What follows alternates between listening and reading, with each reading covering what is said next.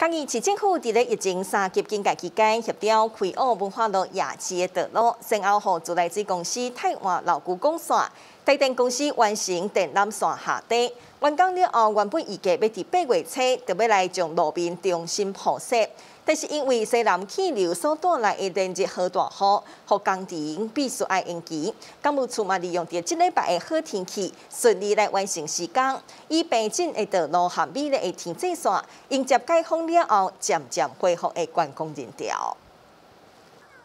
港二市的文化路夜市在三级警戒期间，顺利完成老古公线太湾和电缆线下底的工程，中很美丽的天际线。港二市政府公务处进一步把握即礼拜的好天气，积极规划，同时和厂商协调，将道路中心铺设的工程利用两工的时间完成，要用全新的美丽市容迎接解封之后渐渐恢复的观光人潮。这个原来三天到四天的工期能够压缩到两天，我们把施工的时间加长。那我们也担心说，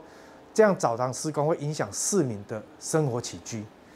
那经过这个大家充分的讨论以后，我们就是四点进场来做交通维持的布设，五点，哦，等于是接近清晨民众起床的时间，我们开始来做啊重机械的跑铺工作。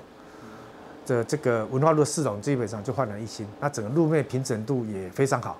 那民众的反应也都相当好。那这个是我们对于民众生活品质跟文化路的整个。啊，路容改善，道路平整的改善啊，我们尽了我们最大努力，那我们做好了相关的规划跟安排，啊，能够顺利完成这次的整个路面的整修的一个整平的工作。这一届文化路中心铺路的程段分作两个阶段，因宽到民族路是关公夜市的路段先施作，民族路到沈阳路规划伫咧第二天完成，而整体的路面工程已经在十八号阴暗完工。文化路夜市的市容焕然一新，全面改善民众的生活，和文化路道路各有市容景观的品质。最新新闻从丁松王小山江义市采访报道。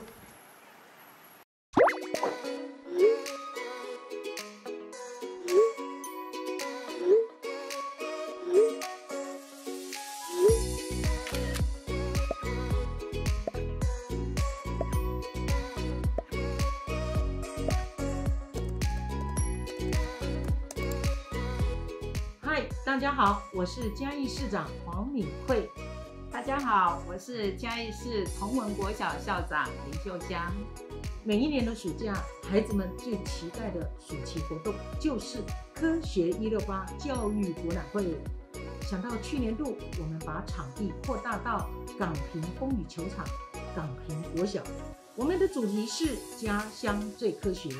有科普教室、创客教室、主题特展。定向越野，还有无人机飞空表演等活动，内容非常的丰富，吸引了超过十万人次的参与，这都是令人难忘的回忆。没错，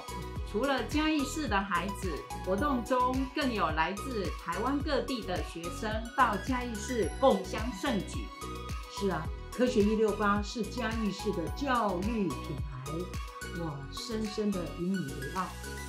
但是因为新冠肺炎疫情影响，今年度的科学一六八必须要取消实体活动的办理。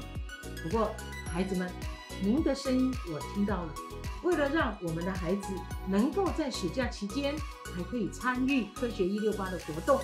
今年度我们就转型推出了科学宝盒的计划。我们为每个嘉义市的小朋友准备的科学宝盒。里面除了完成科学实验需要的材料以外，还有一本实验手册，孩子们可以在家中自己完成一个个有趣的小实验哦。我们相信今年的暑假对嘉义市的孩子们来说，一定是最特别的一个暑假。科学不仅是知识，更是一个生活的态度。透过科学宝盒，我相信孩子们能在做中学、学中做，手脑并用，学习不落后哦。双手万能，科学在手。